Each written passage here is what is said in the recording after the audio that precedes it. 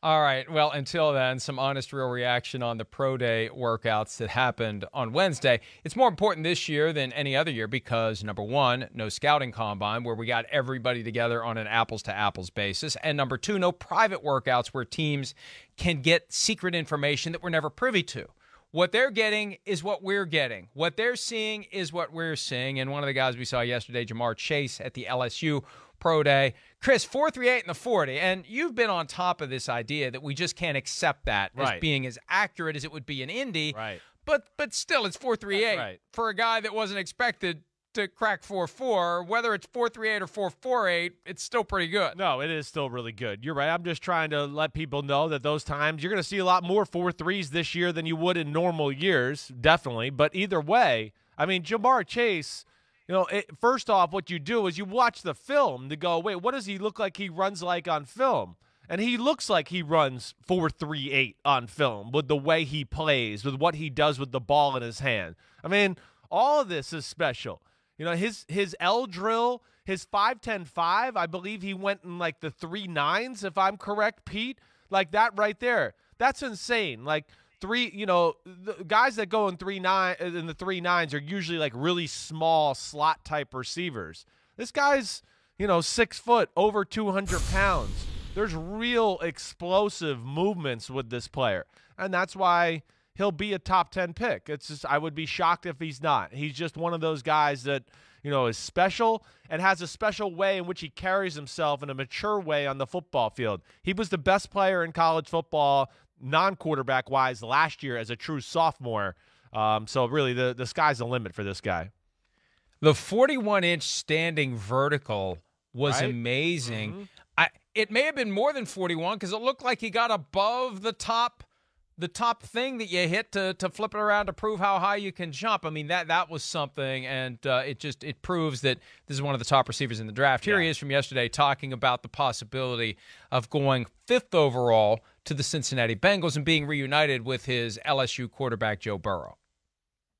Um, I have talked to the Bengals. Um, I don't know how many times I've talked to them though. Um, but me and Joe, you know, I, I, I wouldn't mind going back with Joe. Um, you know, if we go back together, we try and do nothing but get back on chemistry and have some more fun. I think I would have an advantage if I was to play with him only because we played a couple years. Um, but we'll still have to get that groove back ahead, you know, feel for it again. It's, it's not just going to be there when we throw again. So we have to build that chemistry back up and work hard again. You have to wonder after that workout yesterday. Now, I, I would say the Bengals at five are the ceiling. I, the Falcons with Calvin Ridley and Julio Jones, Yeah, even if it wouldn't is think Julio so. Jones last year, I, I, I, I could see them going quarterback because of the importance of the position and because Matt Ryan could be in his last year.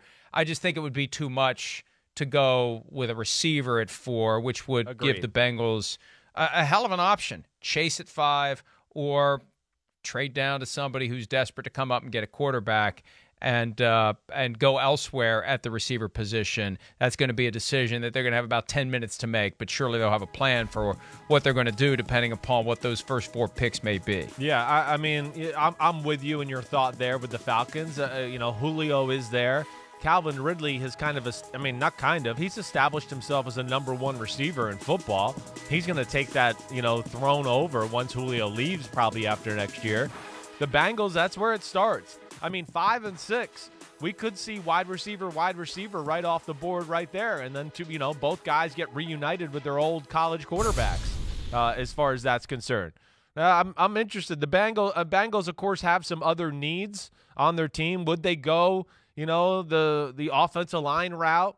Uh, I I don't know. You know, Ja'Marr Chase is a really special football player, as is DeVonta Smith. I mean, they're worthy of that top ten pick, but I, I would think that's where it starts right there at number five, and that's the big reason I think the Dolphins got back up to number six because they probably had some of the same logic we we're talking about. They're going, wait, if we're at six, we're gonna get one of those two guys. You know, most likely with how this shakes out, and and, and I would think their logic about Atlanta is similar to ours. We were asked about this yesterday on PFTPM the possibility that the Dolphins would have Justin Fields available to them at six and would take him. And if that's what they would do, that's the ultimate gutsy Jedi mind trick all in move to drop out of the third spot to 12, back up to the sixth spot, and just kind of bide your time and and let Fields fall through the cracks to six and jump on him there. I, I doubt that they would do it. That would mean that they're they they have real doubts about Tua that they're willing to act on. I agree with you. I mean, the Dolphins are in a great spot to get one of these great receivers, whether it's Ja'Marr Chase, DeVonta Smith. The Bengals are in great position, and the Lions are in great position. Yeah. To get either either uh, Ja'Marr Chase or the guy we're going to talk about in a second here, Kyle Pitts, the tight end out of where I was Florida. Not that the right. Lions need him. Right. Lions don't need him, but uh, um, I don't know. Yeah, well, we see what the Patriots are trying to do with two tight ends. Could you imagine the Lions' offense with both T.J. Hockenson and Kyle Pitts, the way Pitts performed yesterday? Yeah, I, I mean, I don't think it's you know crazy. Uh, I don't. Uh, you know, it, it creates a lot of mismatches those two tight end sets. But I, I'm with you in the fact that I think my first thought is, you know, you're gonna you're gonna take two tight ends in the top ten of the draft, two out of three years. I I, I don't look at it, but I look at Kyle Pitts and as you know, again, mismatch nightmare. 244 pounds, runs 444. You know, as smooth as can be running routes. You know, has unbelievable ability to, you know, one of those guys again, Mike. When he's covered, he's not covered. You could just throw it to him because he's so athletic as far as adjusting the ball. I mean, his 83 inch wingspan that he had yesterday, that's unreal to go along with it. So when you, uh, that's where, you know, we talk about Chase, DeVonta Smith, five, six to the Dolphins and, and Bengals there. You know, I think Kyle Pitts is probably in that conversation too to think like, no, it, it's all three of those guys that are top 10 picks, difference makers for your football team. And I do think, you know, fit a positional need, you know, maybe more so for the Bengals than the Dolphins. They do have Gesicki, who's like that. Um, but but either way, th- this is a top 10 pick in Kyle Pitts and Ja'Marr Chase, and it's uh, going to be interesting to see where they both land. Most eye popping numbers for a tight end since Vernon Davis, who ran a sub 4 440 in 2006 and was a top 10 pick of the 49ers and a great contributor at the NFL level for a long period of time. Here's Pitts running that 444, 83 inch wingspan, the largest of any receiver or tight end in the last 20 years, 83 inches. Makes it a lot easier to complete passes when the arms can fly out that wide. And he's not even 21, Chris. He turns 21 in October. Now, tell me if that body says to you tight end. He just looks like he looks like a really big receiver, and I wouldn't be surprised if we we see him in the slot a Yeah. lot and maybe split out wide from time to time. That's what you're going to see him doing. The you know majority of stuff will be that. You know, the uh, first thing is he'll get bigger. He's going to be able to put more just easy, natural muscle onto that frame. There's no doubt. But yes, I would think he gets used in that mold of Travis Kelce where he's extended from the line of scrimmage a lot. Oh, we have him one on one out here with three receivers over here. Wait, oh, all right, the linebacker went out on him. Oh, it's man to man. Okay, well that that linebacker he can't cover. You know, Kyle Pitts. It's it's like the old New England Gronkowski, Aaron Hernandez thing, where not only is it like a great you know, telltale sign when you have a tight end like Pitts and all of that. It's like we always talk about. He's a pretty good blocker to go along with it. So now you wait, do we put in a nickel back because we're worried about them throwing the ball? Do we put in the other linebacker because, wait, he could go to the traditional tight end spot and they can run the ball on us? That's the great value of a guy like that, let alone he has he has big time talent. I mean, he does. He's got the type of talent to be up there in yards and reception leader and be be one of the best in the game. Here's Pitts talking about one of the teams that could be taking him in the top five, the Atlanta Falcons. I did talk to him on Zoom a couple times, and I talked to him. I had a day, and they're saying they have interest in me. And uh, after after today, we'll get back on another Zoom and try, you know, they'll try and learn more about myself. So uh, I feel like they're pretty interested in this. It- You know, it, it will be a, a dream come true to be even be top five or the first uh, non-quarterback to come off the board. thing to remember about this year that makes it different from other years the Zoom availability. Every team can talk to every prospect. There's a limit to the number of times you can talk to each one, but you can talk to all of them if you want to. So it's not quite the same as who's taking a visit where, who's getting a private workout where. But this is a guy who, yeah, he's not going to be there when the 10th pick rolls around, Chris. The question is who's going to jump on him and who's going to end up having a great weapon He said that no one has talked to him about playing receiver on a full time basis. Look at that 6'5, 245, runs a 4'4'4, 83 inches. I'd say the hell with tight end. I'm making this guy my number one receiver. Well, you know, there, there's little short area, quick movements that I would say are not on par with a guy like Ja'Marr Chase and DeVonta Smith. You know, as far as like explosiveness is concerned that way, but still, yeah, Mike, you're right. There's a lot of traits there. He's gonna be used in that. The name of the game will be like what we talked about. He's going to be utilized like a Travis Kelce, like a Darren Waller with the the the Las Vegas Raiders. You know, yeah, you'll see some from the traditional set, but you're going to see plenty of him split out, and it doesn't really matter. You know, again, he's going to be one of those things where it's oh, linebacker or safety's covered him. Well, he's faster and more athletic than them. Oh, wait, they put a corner on him. Well, he's bigger than them. They he'll box them out. He'll use his body to shield them. So uh, it's plenty of receiver will be in his future.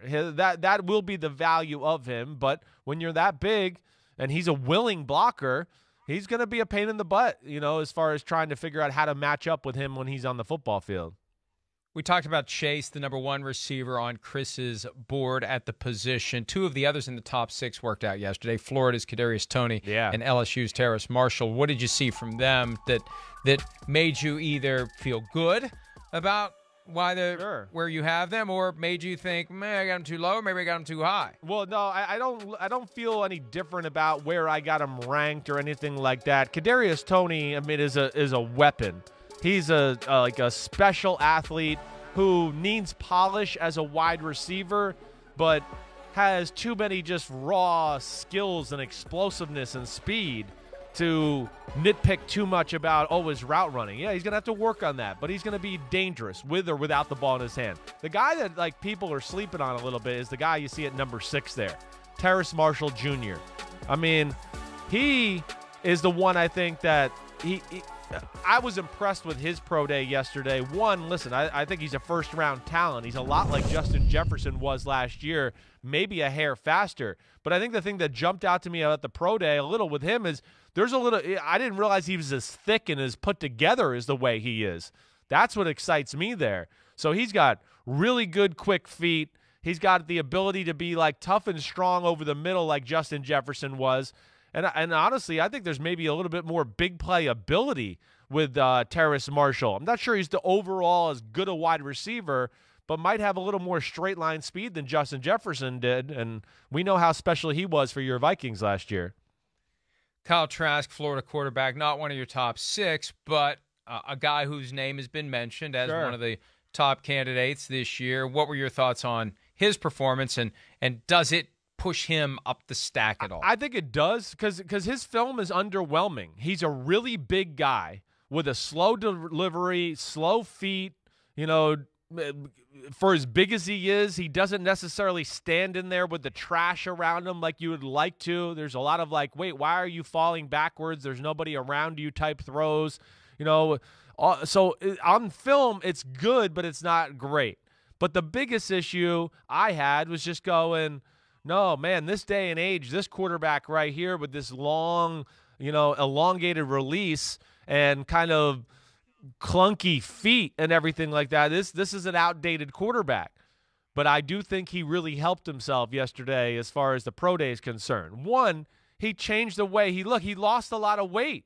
You know, which I first want to go, wait, you're a quarterback. How are we overweight to begin with? That to me is a warning sign. But he did look a lot better as far as just popping around and put, moving his feet and popping them underneath him and on the move, those type of things, to where it changed the look of the player a little bit. And even with the throwing motion, it was quicker, you know. So all of it was better, and I do think it's going to make teams feel a little bit better about him. I'm interested to see where he ends up, Mike, because I think he's one of those guys where there'll be a few people that really like him in the NFL, and maybe he is that part of that next group that goes off the board after the big six.